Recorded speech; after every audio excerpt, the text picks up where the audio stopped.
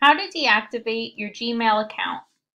If you no longer want to use your Gmail account, you unfortunately can't temporarily deactivate it and can only permanently delete it. However, there is a way to delete your Gmail account without deleting your Google account entirely. To do this, click your profile icon in the top right corner of any Google screen. Then just below your profile name, select Manage your Google account. From the menu on the left-hand side of the screen, click Data and Personalization. Then scroll down to find Download, Delete, or Make a Plan for your data. From this section, select the tab that says Delete a Service or Your Account. If you wanted to delete your Google account entirely, you can select Delete Your Account, but because we only want to delete our Gmail account, we're going to select Delete a Service. Then log in to verify that it's the owner deleting the service.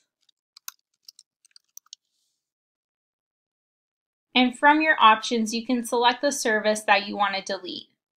Because Gmail has a lot of information stored in it that you may want to use in the future, you can choose to download data, which downloads all the information from your account before deleting the service.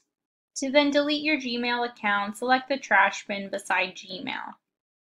Because your Google account is associated with an email address, typically your Gmail address, you'll need to provide Google with an alternate email address that you can use to sign into your Google account. This can't be another Gmail address because there's likely a Google account already associated with that Gmail address. Once you enter your alternate email address, click Send Verification Email.